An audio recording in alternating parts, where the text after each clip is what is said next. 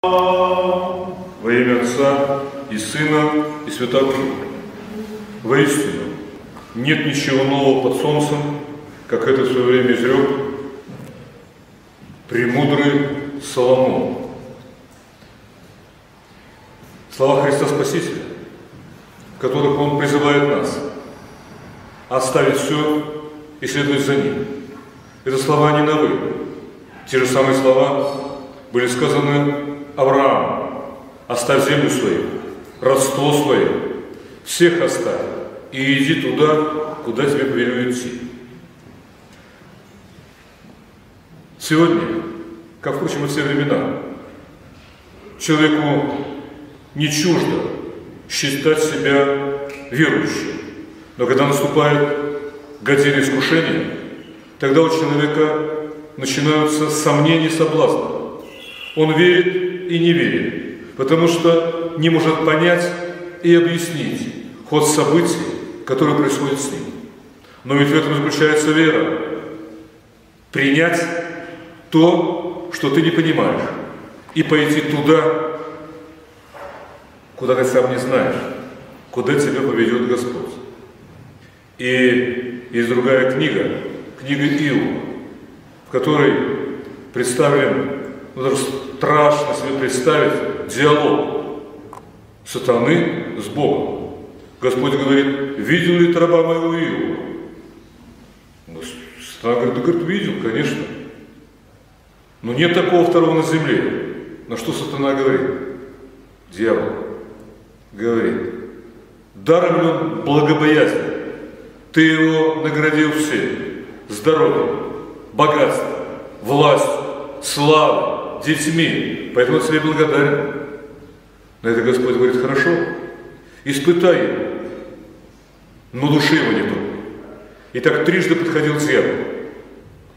И трижды он получал возможность испытать Иова.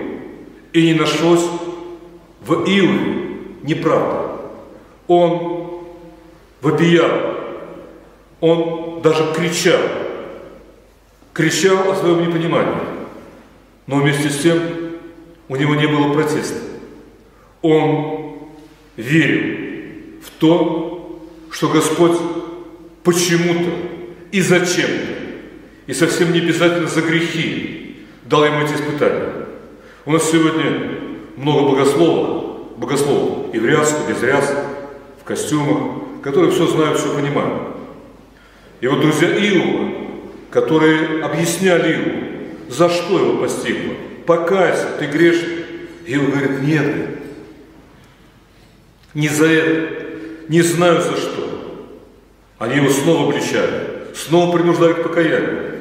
Закончилось тем, что Господь сказал, раб Иов был более прав, чем вы, и наградил друзей Иова, псевдоутешителей, проказом, и сказал, вот если раб мой помолится за вас, тогда вы получите исцеление. И вот сейчас, говоря об Аврааме, который поверил Богу, ему именилась праведность.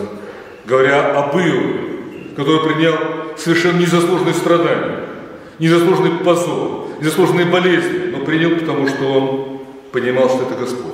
И он прав в том, в тех судах, которые он, которыми он судит труд человеческий. Дай Бог каждому из нас.